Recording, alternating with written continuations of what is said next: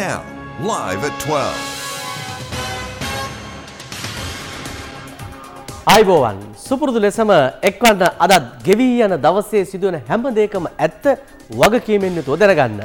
අදත් ලයිවැට්වල් තුළින් ඔබ හමුවන මම සජිත් රණසිංහ. මම ෆාතිමා නස්රින් අපි අදත් මුලින්ම බලමු ප්‍රධාන පුවත් සිරස්තල. දඹුල්ලේ ආර්ථික මධ්‍යස්ථානය තුළ සිදූ අනතුරකින් පුද්ගලයකු මරුට.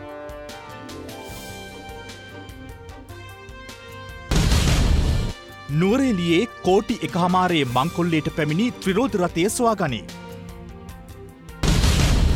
අනුරාධපුරයේ ගෙවත්තකට ආ කිඹුලා කොටු කළ මෙහෙයුම.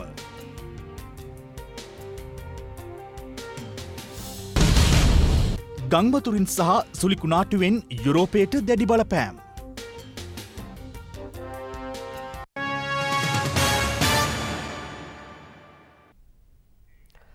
දමුල්ල ආර්ථික මධ්‍යස්ථානය ඇතුළත සිදු රියනතුරකින් එක් පුද්ගලයෙකු ජීවිතක්ෂයට පත් වී තිබෙනවා. මේ අනතුර පිළිබඳව CCTV දර්ශන ඔස්සේ තොරතුරු රැසක් ලැබී තිබෙනවා. මෙලෙස ජීවිතක්ෂයට පත්වඇත්තේ එලවලු මිලදිය ගැනීම සඳහා දඹුල්ල ආර්ථික මධ්‍යස්ථානයට පැමිණි හැට හතර හැවිරිදි අඟුලාන ප්‍රදේශය පදිංචි ව්‍යාපාරිකයෙක්. අදාළ ව්‍යාපාරිකයා ආර්ථික මධ්‍යස්ථානය තුළ ගමන් කරමින් සිටින විට අධික වේගයෙන් පිටුපසට දහවනය කළ ලොරිරථයකට යටවීමෙන් මෙලෙස මරණයට පත්ව තිබෙනවා. මෙම අනතුර සිදුවන ආකාරය ආර්ථික මධ්‍යස්ථානයේ වෙළඳ සැලක සවිකර තිබූ CCTV කැමරාවක මෙලෙස පටිගත වී තිබුණා.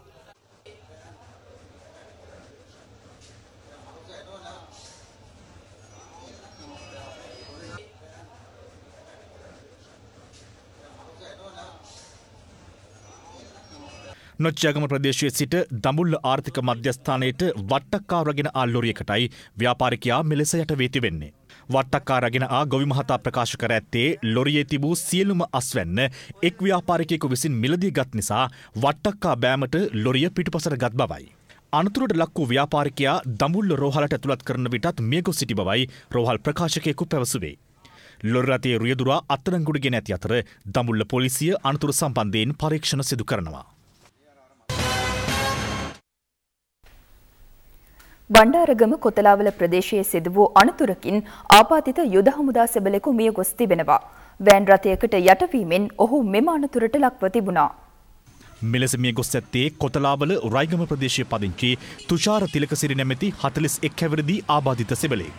අදාළ හමුදා සෙබලා රයිගම සිට බණ්ඩාර්ගම දෙසට යතුරුපැදියෙන් ගමන් කරමින් සිටින අතර අපරීක්ෂාකාරය ලෙස ඉදිරියෙන් පැමිණි පාපැදිකරුවෙකු අනතුරට ලක්වීම වැලැක්වීම සඳහා උත්සා ගැනීමේදී යතුරුපැදියෙන් වැටි ඉදිරියෙන් පැමිණි වෑන් රථයට යට වේ තිබෙනවා. අනතුර සම්බන්ධයෙන් බණ්ඩාර්ගම පොලිසිය පරීක්ෂණ සිදු කරනවා. මේ අතර අනුරාධපුර පාදිනිය මාර්ගයේ ගල්ගමුව සතිපොළ ඉදිරිපිට සිදු රියානතුරකින් පුද්ගලින් එකොළොස් දෙනෙකු තුවාල ලබා තිබෙනවා. ජායල සිට හොරෝපතාන දක්වා දහවනය වූ වෑන් රථයක් මාර්ගෙන් ඉවතට පැන ගස ගැටි මෙම අනතුර සිදුව තිබුණේ අද අලුයම හතරයි පහළවට පමණ. මෙලෙස අනතුරට ලක්ව ඇත්තේ හොරෝපතාන ප්‍රදේශයේ පදිංචිකරුවන් පිරිසා.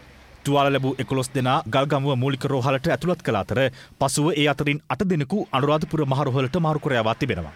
රියදුරාට නින්දයාම නිසා මෙම අනතුර සිදුවී ඇති බවයි අප වාර්තාකරු ප්‍රකාශ කළේ. අනතුර සම්බන්ධයෙන් ගල්ගමුව පොලිසිය පරීක්ෂණ සිදු කරනවා. හැටන් නුවරලි මාර්ගයේ ලිදුල ප්‍රදේශයේදීද තවත් අනතුරක් සිදුව තිබෙනවා. අධික වේගෙන් දහවනේ වූ වෑන් රථයක් මාර්ගයෙන් ඉවතට පැන අඩි 300ක පමණ ප්‍රපාතයකට පෙරළී ඇති බවයි අප වාර්තාකරු පැවසුවේ. ඊය රාත්‍රියේ 11ට පමණ මෙසේ අනතුරට ලක්ව ඇත්තේ රුවන්වැල්ලේ සිට නුවරලි බලා දහවනේ වූ වෑන් රථයක්. අනතුරින් අවුරුදු 18ක් සහ අවුරුදු 23ක් වන තරුණියන් දෙදෙනෙකු බරපතල තුවාල ලබා ලිදුල රෝහලට ඇතුළත් කර තිබෙනවා. අසාධ්‍ය තත්ත්වය පසු ඔවුන් දෙදෙනා අද අලුයම් කාලයේ වැඩිදුර ප්‍රතිකාර සඳහා නෝරෙලිය මහරොහලට මාරු කර යවූ බවයි අප වාර්තාකරු පැවසුවේ. අනතුරින් වෑන් රථය රිදුරාට තුවාල සිදු වී නැහැ. ලිදුල පොලිසිය විසින් ඔහු අත්තරංකුඩගෙන ඇති අතර වැඩිදුර පරීක්ෂණ මේ වන විට ආරම්භ කර තිබෙනවා. මේ අතර අද උදෑසන හලාවත කොළඹ මාර්ගයේ මාදම්පේ කඩුපිටි ඔය ආසන්නයේදී ත්‍රිරෝධ රථ අනතුරක් සිදුව තිබෙනවා. ත්‍රිරෝධ රථය මාර්ගයෙන් ඉවතට පැන පෙරලී ගොස් සිදුව මෙම අනතුරින් 47 හැවිරිදි රියදුරා තුවාල ලබා තිබෙනවා. අනතුරෙන් ත්‍රිරෝධ රථයටද හානි සිදු වී ඇති අතර අනතුර සම්බන්ධයෙන් මාදම්පේ පොලිසිය වැඩිදුර පරීක්ෂණ සිදු කරනවා. පළත්පාලන මැතිවරණයේ ප්‍රචාරණ කටයුතු මේ වන විට ආරම්භ වී තිබෙනවා. ප්‍රචාරණ කටයුතු වලට සම්බන්ධව මැතිවරණ නීති උල්ලංඝනය කිරීම සම්බන්ධයෙන් මේ වන විට පුද්ගලයන් 98 දෙනෙක් සැකපිට අත්අඩංගුවට ගෙන තිබෙනවා. මේ අතර ඊයේ රාත්‍රියේදී තංගල්ලේ පක්ෂ කාර්යාලයකටත් ප්‍රහාරයක් කළ වී තිබෙනවා. පළත්පාලන මැතිවරණය පැත්වීම සඳහා තවත් ඉතිරිව ඇත්තේ මසකුත් දින හතරක කාලයක් පමණයි. මෙනිසා ක්‍රමක්‍රමයෙන් මැතිවරණ උණුසුමද ඉහළ යමින් පවතිනවා. මැතිවරණ නීතියට අනුව මැතිවරණ මෙහිුම් කාර්යාලවල සහ ජනරලි පැවැත්වන ස්ථාන හැර වෙනත් ස්ථානවල පෝස්ට සහ බැනර් ප්‍රදර්ශනය කිරීම තහනම් වනවා. එහෙත් එම නීති උල්ලංඝනය කරමින් විධ දේශපාන පක්ෂවල අපේක්ෂකින්ගේ පෝස්ට දිවයිනේ විධ ප්‍රදේශවල දක්නට ලැබෙනවා. පොලිසිය මෙම පෝස්ට ඉවත් කිරීමට සහ පෝස්ට අලවන පුද්ගලින් අතරංගොඩ ගැනීමට අවස්ථා කිහිපයකදීම මෙහිුම් දියත් කලා. ඒත් නැවත පෝස්ට ඇලවීමට අපේක්ෂකින්ගේ ආධාරකරුවන් ක්‍රියාකර ඇතිආකාරය දක්නට ලැබෙනවා. මිට සමාන්තරව මැතිවරණ ප්‍රචණ්ඩක් ක්‍රියාවන්ද අවස්ථා කිහිපයකදී සිදු වූ අතර එහි ආසන්නතම සිද්ධිය වාර්තාවන්නේ තංගල්ල මහවෙල ප්‍රදේශයෙන්. ශ්‍රී ලංකා පොදුජන පෙරමුණේ පහජ්ජාව ප්‍රදේශය පවත්වාගෙනගේ කාර්යාලයේ රාත්‍රය කිසියම් පිරිසක් විසින් අලාභානි සිදු කරතිබෙනවා. එහි බැනරේද කපාදමා තිබූ අතර ඒ ආසන්නේ නවතා තිබූ බස්රතයක වීදුරුවකටද හානිකර තිබුණේ මේ ආකාරයෙන්. ඒ වෙලාව එක විතර ඇති ওই වැඩේ වෙනම සිද්ධ වෙනකොට. නෑ හැමම විතරයි උන්නේ. අඳුරන්න දැක්කේ නැහැ කවුරුවා. ඕ සද්ද විතරයි ඇහුනේ. මං එළියට බහිනකොට කවුරුවත් පේන්න උන්නේ නැහැ. මෙවර පළාත්පාලන මැතිවරණයට අදාළ මැතිවරණ නීති උල්ලංඝනය කිරීමේ චෝදනාවට මේ වන විට අත්අඩංගුවටගෙන ඇති සංඛ්‍යාව 98ක්. අත්අඩංගුවටගත් පිරිස අතර අපේක්ෂකයින් නව දෙනෙකුද සිටීම විශේෂත්වයක්. හැටන් පන්මූර් වතුයායේ වතුකම්කරුවන් හත් දෙනෙකුට පහරදී තුවාල සිදු කළ කොටියා අල්ලා ගැනීමට වනජීවී නිල්ධාරීන්ට මෙතෙක් හැකියාව ලැබී නැහැ. වනජීවී නිල්ධාරින් ප්‍රකාශ කළේ අදාළ කොටියා අල්ලා ගැනීම සඳහා තවදුරටත් උපක්‍රම භාවිතා කරන බවයි. මේ අතර කොටියා අල්ලා ගන්න අතුරු පන්මෝර් වතුයායේ සේවකයින් ආරම්භ කළ වර්ෂණය තවදුරටත් ක්‍රියාත්මක වන බවයි අප වාර්තාකරු පැවසුවේ. හැටන් පොලිස් වසමට අයත් පන්මූර් වතුයායේ කම්කරුවන් හත් දෙනෙකුට කොටියකු පහරදී තිබුණේ පෙරේදා පස්තරු කාලයේදී. මෙහිදී කොටියා අල්ලා ගැනීමට පොලිසිය හා වතුකම්කරුවන් උත්සා කිරීමේදී උණුසුම් තත්ත්වයක්ද හටගත්තා. එහිදී වතුකම්කරුවන් වනජීවි නිලධහරින්ගෙන් ඉල්ලා සිටියේ කෙසේ හෝ තම ජීවිත අවධානමට ලක්ව ඇති අදාළ කොටියා අල්ලා දෙන ලෙසයි. මේ අනුව ඊයේ දිනේ පුරා කුටියා අල්ලා ගැනීම සඳහා වනජීවි නිලධහරින් හැටන් පොලිසිය හා වතු කම්කරුවන් එක්ව දැවන්ත මෙහිුමක් සිදු කළා. කුටියා අල්ලා ගැනීම සඳහා විශේෂ කූඩුවක් යොදා ගනිමින් උගුලක් ඇටවීමටද මෙහිදී පියවරගත් අතර අදාළ උගුලටද කුටියා ඊයේ දිනේ තුළ හසු නොවූ බවයි මධ්‍යම පළාත් සහකාර වනජීවී අධ්‍යක්ෂ පම් විරසිංහ මහතා පැවසුවේ. කොටියා අල්ලා ගැනීම සඳහා සිදුකොළ මෙහිුමේදී අලිවෙඩි භාවිතා කිරීම හේතුවෙන් අදාළ සත්වයා බියවී වතුයායේ සිට රක්ෂිත ප්‍රදේශය වෙත පලායනට ඇති බවටයි වනචීවි නිලධහරින් සැකපල කරන්නේ. කෙසේ වෙතත් ගොදුරු සොයා සුප්‍රදුස්ථාන වෙත කොටියා ඉදිරිදින කීපය තුළ යළිත් පැමිණෙන බැවින් සවිකර ඇති උගුල එම ස්ථානයම රැඳවීමට පියවරගෙන තිබෙනවා. මේ අතර කොටියා පහරදීමින් තුවාල් ලබා නාවලපිටිය රෝහලේ ප්‍රතිකාර ලැබූ පුද්ගලින් හත් දෙනා රෝහලෙන් පිටව ගොස් තිබෙනවා.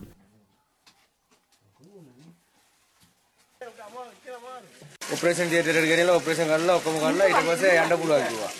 ඊට පස්සේ එතකොට අර ඉන්ජෙක්ෂන් එක ගාව තියෙනවනේ එතකොට අපිට දෙන්නේ නෑනේ. ඊට පස්සේ අපි ආවට පස්සේ දැන් ඉගෙරයි ඔක්කොම එන කැක්කුමයි. මාව අල්ලනකොට මම තනියම තමයි ගියේ කවුරුවත් නෑ මොකොත් නෑ. පෙරලගෙන තමයි ආවේ මම එතන ඉඳලා පැනලා තමයි ආවේ. පන්මූර් වතුයායේ පවතින කුටිබිය නිසා වතුකම්කරුවන් ආරම්භ කළ වර්ජනය අද දෙවන දිනටත් ක්‍රියාත්මක වෙනවා. වර්ෂණය හේතුවෙන් වතුයායේ තේතලු නිලීමේ කටයුතු සම්පූර්ණයෙන්ම නතර වී ඇති බවයි පන්මූර් වතුයායේ වතු අධිකාරීවරයා පැවසුවේ. පවතින මේ තත්ත්වය යටතේ පන්මූර් දෙමළ මහා විද්‍යාලයේ සිසුන්ගේ පැමිණීමේද අඩුවක් පවතින බවයි අප වාර්තාකරු පැවසුවේ. නෝරේලිය නගරේ දුම්වැටි අලවෙ නියෝජිත ආයතනයක රුපැල් ලක්ෂ එකසිය පණහකට ආසන්න මුදලක් කොල්ල කාතිබෙනවා.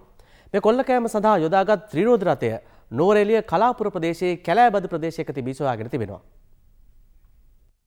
නුවරේලිය උද්‍යාන මාවතයේදී පසුගිය දෙවනිදා උදෑසන අටයි පහළවට පමණ මෙම කොල්ල කෑම සිදුකර තිබුණා. මෙලෙස කොල්ලකා තිබුණේ නුවරේලිය ප්‍රදේශයේ දුම්වැටි අලවිනියෝජිත ආයතනයකට අයත් මුදල් බැංකෝක තැන්පත් කිරීම සඳහා රැගෙන යන අත්‍රවාරයේදී. එම මුදල් කොල්ලයට සැක්කරුවන් විසින් පැමිණ තිබූ ත්‍රීරෝධ රථය සොයාගෙන තිබුණේ නූරේලිය කලාපුර කැලෑපද ප්‍රදේශයකදී. මෙම ත්‍රීරෝධ රථයේ හිමිකරු වෙලිමඩ ප්‍රදේශයේ පුද්ගලයෙකු බවයි පොලිසිය පැවසුවේ. කොල්ලකරුවන් විසින් ත්‍රීරෝධරතය පැහැරගෙන මෙම මුදල් මංකොල්ලේ සිදුකර ඇති බවටයි පොලිස් විමර්ශනවලදී හෙළිවී තිබෙන්නේ. සිද්ධියට සම්බන්ධ කිසිවෙකුත් මෙතෙක් අතඩංගුවටගෙන නොමති අතර අදාළ ඒජන්සියේ මුදල් අයිකමිවරයා සහ මුදල් රැගෙනකිය වෑන්රතේ රියදුරු මීට සම්බන්ධ බවටයි පොලිසිය සැකපල කරන්නේ. සිද්ධිය සම්බන්ධයෙන් නුවරෙලි පොලිසිය වැඩදුර විමර්ශන සිදු කරනු ලබනවා. තවත් දේශීය පුවත් කිහිපයක් දකිමු මේ විරාමයෙන් අනතුරුව.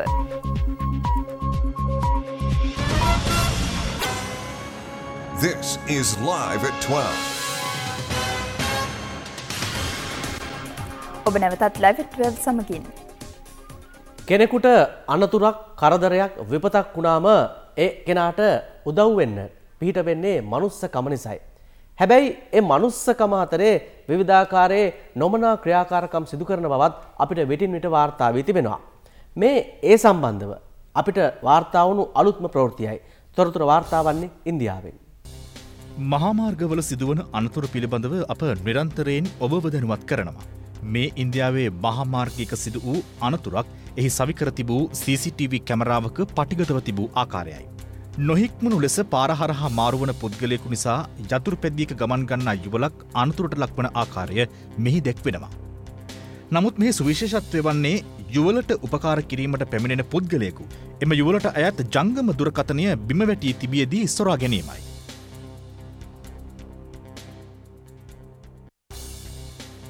උදවකිරීමේ මුවාවෙන් පැමිණෙන මෙවැනි පහත් මිනිසුන් පිළිබඳව අවධානය යොමු කළ යුතු බව මේ වීඩියෝ දර්ශන මනාවට ඔප්පු කරනවා. පන්නල ජයගම ප්‍රදේශයේදී දාසය හැවිරිදි පාසල් ශිෂ්‍යාවක් ඇගේ පෙම්වතා විසින් ඝාතනය කිරීම සම්බන්ධයෙන් තවත් තොරතුරු රැසක් අනාවරණ වී තිබෙනවා.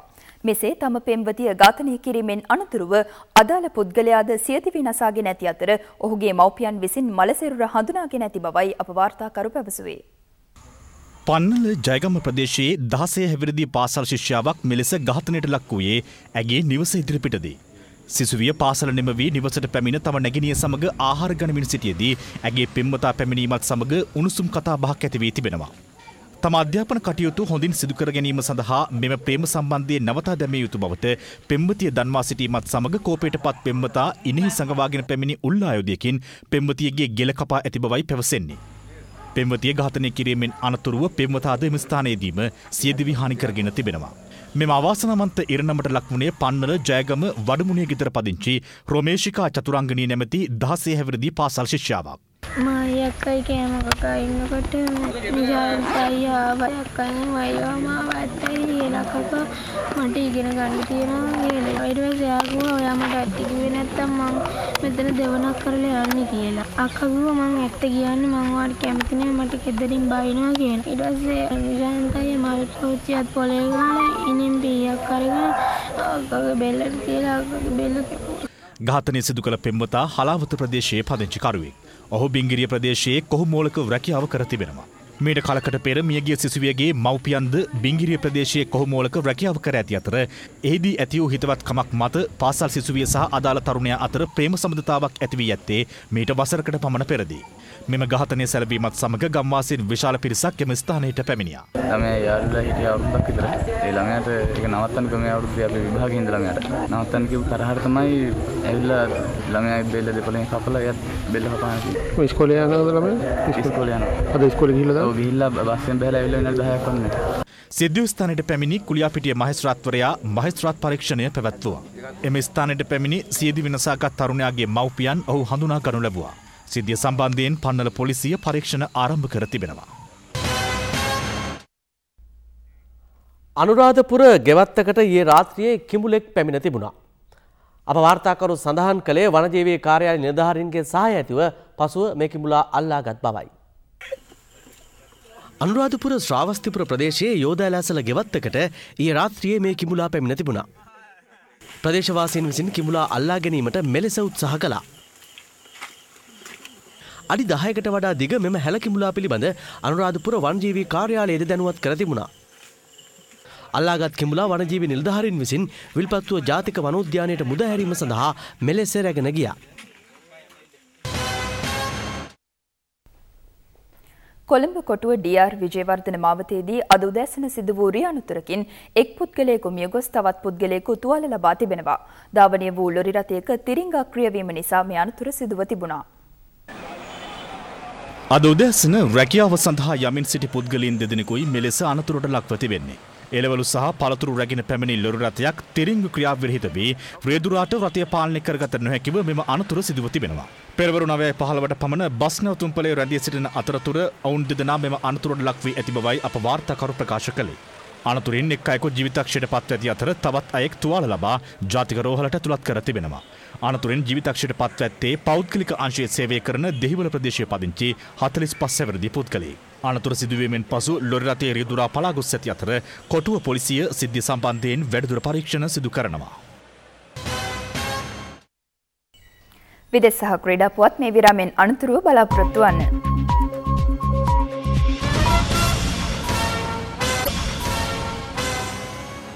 This is Live at 12.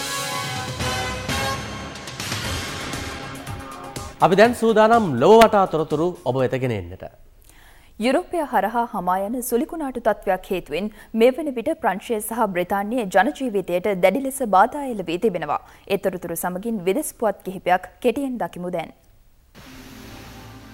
උතුරදිග යුරෝපය හරහා හමා යන එලෙන සුළි කුණාටුව හේතුවෙන් මේ වන විට පුද්ගලයින් තිදෙනෙකු ජිවිතක්ෂයට පත්ව තවත් පුද්ගලයින් පහළොස් දෙනෙකු තුවල් ලබා ඇති බවට වාර්තා වනවා. සුලිකුණාටුව හේතුවෙන් උතුරදිග ප්‍රංශයේ නිවාස ලක්ෂ දෙකට පමණ විදුලිය ඇන හිට ඇති බවටත් විදෙස් මාධ්‍ය වාර්තා පෙන්වා දෙනවා. සුළි කුණාටු තත්වේ හේතුවෙන් මේ වන විට ප්‍රංශයේ අයිෆල් කුළුණද වසා තමා තිබෙනවා. මේ අතර එලන හේතුවෙන් බ්‍රිතාන්නේ පෑට කිලෝමිටර් එකසේ හැටක සුළංතත්වයක් බල පැවැත්වෙන අතර ඒ හේතුවෙන් නිවාස දස දහසකට වැඩි ප්‍රමාණයකට විදුලිය ඇනහිට ඇති බවටත් නවතම විදිස්වාර්තාවන් වල සඳහන් වනවා.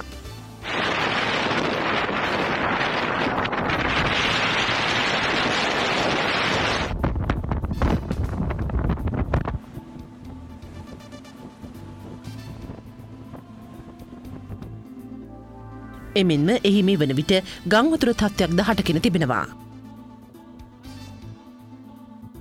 මේ අතර ගත වූ සති අන්තයේදී ඇමරිකාවේ නිවියෝක් නගරයෙන් සෙල්සිස් අංශක රින දොළහක උෂ්ණත්වයක් වාර්තා වී ඇති අතර දකුණු දිග ඇමරිකාවේ ඇතැම් ප්‍රදේශවලට සෙල්සිස් අංශක රින විසි එකක උෂ්ණත්වයක් ඇතිවූ බවටයි විදෙස් මාත්‍ය වාර්තා කර තිබෙන්නේ.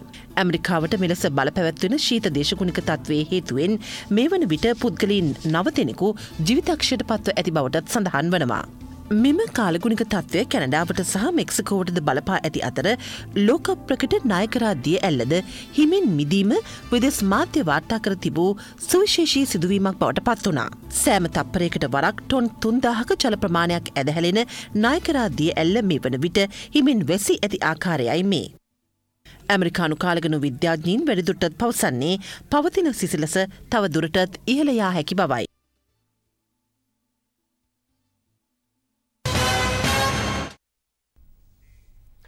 දැන් ක්‍රඩාපුවත්. සංචාරක බටහිරින්දිය කොදෙව් ක්‍රිකට් කණ්ඩායම සහ නවසිලන්තය අතර පැවති තුන්වැනි විස්සවිස ක්‍රිකට් තරගේ ලකුණ එකසේ දහනාවකින් ජයගනට නවසිලන්තය ඊයේ සමත් වනා. මෙයනු නවසිලන්තය තරඟ තුනකින් සමන්විත විස්සයි විස්ස ක්‍රිකට් තරගාවලිය ජයගත්තේ තරඟ දෙකට බිඳුවක් ලෙසයි. තරගේ කාසිවාසය දිනාගත් නවසිලන්ත නායක කේන් විලියම්සන් පළමු පන්දුර පහරදීමට තීරණය කළ. ඒ අනුවනි ආරම්භ කළේ මාටින් ගප්‍රිල් සමගින් කොලින් මොඩරෝ.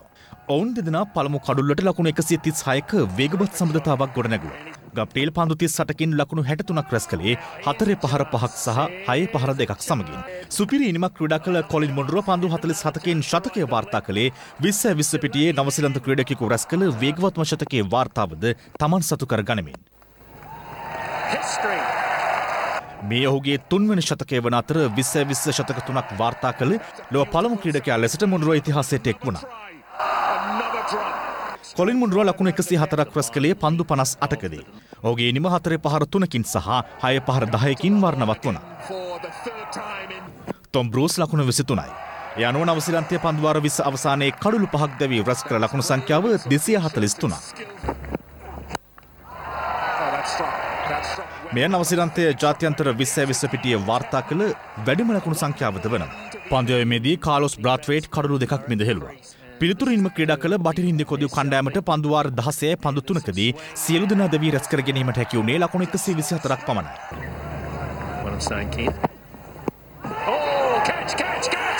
ඇන්ඩ ෆ්‍රේච ලකුණු හතලිස් හය. ටිම් සෞති කඩු තුනක් බිඳහෙලද්දී ට්‍රෙන්ඩ් බෝල් සහ ශ්‍රෝධී අතරේ කඩු දෙක බැගින් බෙදේ ගිය. මේ තරගේ ලකුණු එකසිය දහනාවකින් නවසිලන්තය ජයගත්තේ වැඩිම් ලකුණු පරතරයකින් ජයගත් විස්සේ විසි තරගේ ලෙසයි. තරගේ සහ තරගවලී වීර යන සම්මාන ද්විත්වය හිමි වූයේ කොලින් මුන්රුවට.